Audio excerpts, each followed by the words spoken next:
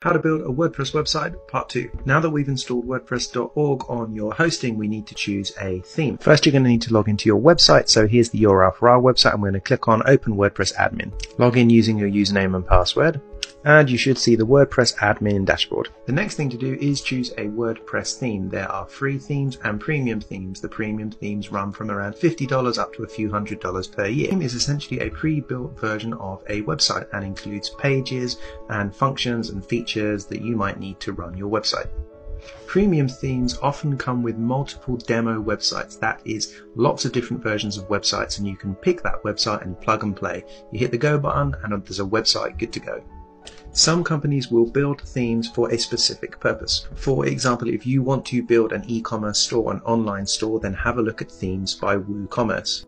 WooCommerce themes are designed specifically for people who want to build an online store. If you want to build a membership, online course, or online community website, then have a look at websites built by BuddyBoss. BuddyBoss themes are really excellent, they look fantastic and come with lots of features.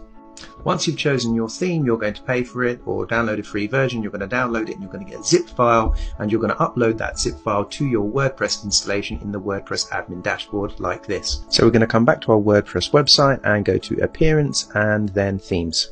And then we're going to click add new. And then on this page, you can choose from over 4,000 free WordPress themes or you can click on upload theme and you can upload the zip file of the theme that you've just purchased.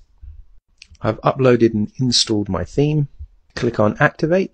Now that I've installed my theme, I'm going to set up my pages and my posts. That's the first blog posts and fiddle around with any settings that I need for the website. Follow part three to learn more.